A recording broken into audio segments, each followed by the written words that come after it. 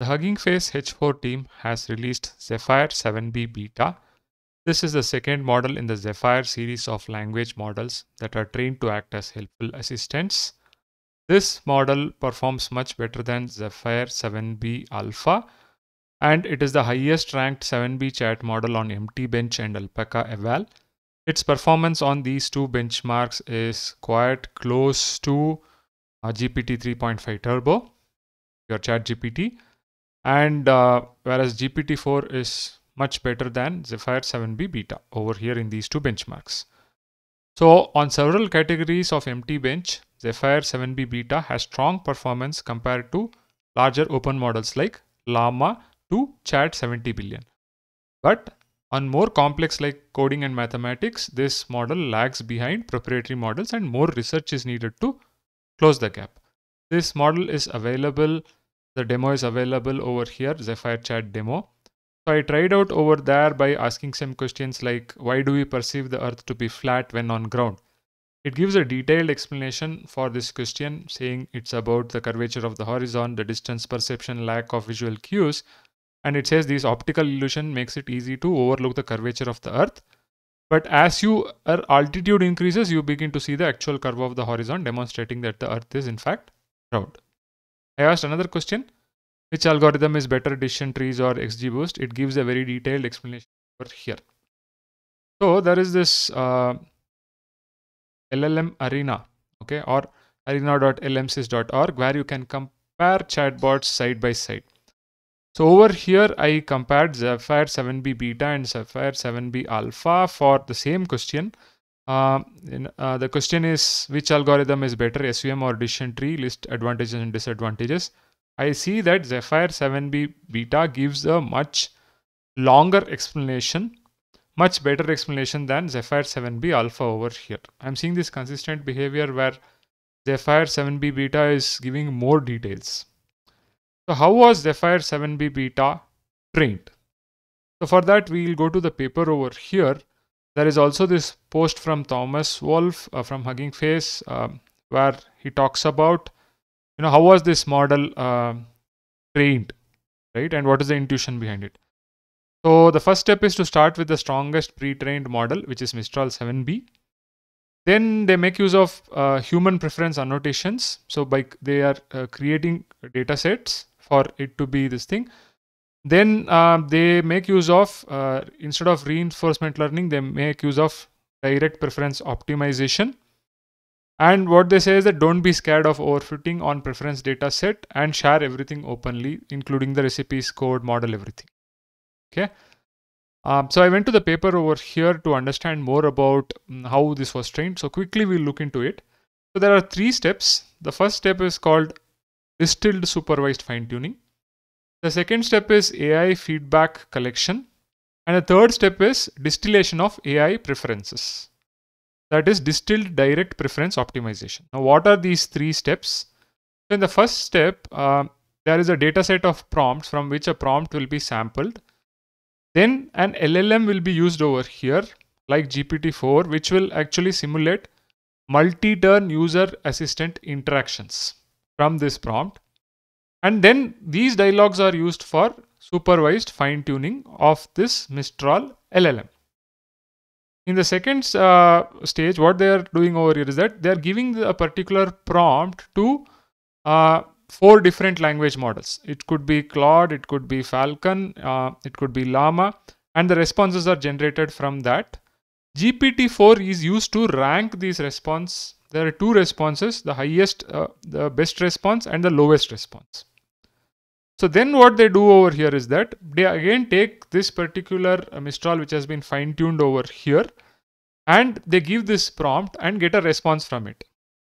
And uh, you know they select best and another random response over here. And based on that they do direct preference optimization.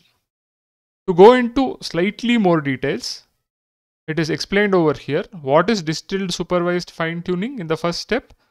Distilled supervised fine tuning is you have access to teacher language models, which are large language models like GPT-4. So you can use that model to generate instructions and responses. So creation of this data set is your distilled supervised fine tuning or first step. What is done over here is that uh, there are seed prompts which are constructed to represent a diverse set of topical domains. A dataset is constructed through iterative self prompting where the teacher is used to both respond to an instruction as well as refine the instruction based on the response. So in this way you are creating a new set of uh, responses as well as prompt refinement. In this way you are creating a final dataset. So this is your first stage on which you are doing uh, supervised fine tuning of your Mistral model. Okay. Then the second step is AI feedback from human references, which I explained. So what is done over here is that, uh, as with supervised fine, system starts with a set of prompts. Each prompt is fed to a collection of four models, which could be Claude, Falcon, Llama, and any other model. And a response is generated from each of this model for that particular input. The responses are then fed to the teacher model, which is GPT-4, which gives a score for the response. And then they create a tuple over here with input, which is your prompt, the highest scoring response, YW, the lowest scoring response, YL. Okay. So this is a triple which has been created over here. Now there is the third step of distilled direct preference optimization. So what is done over here is the fine-tuned, uh, uh, uh, what do you call, your distilled fine-tuned supervised model which has been created in the first step, the, uh, the Mistral uh, fine-tuned model. So that is uh, improved over here with distilled direct preference optimization. Alignment is done over here. So what it does is that uh, the preference model, uh, there is something called as a preference model, which um, uh, which maximizes the likelihood between the best preferred response versus the lower response. The preference model is determined by a reward function which utilizes the student language model. So what is done over here is that there is this equation, but the idea is simple over here.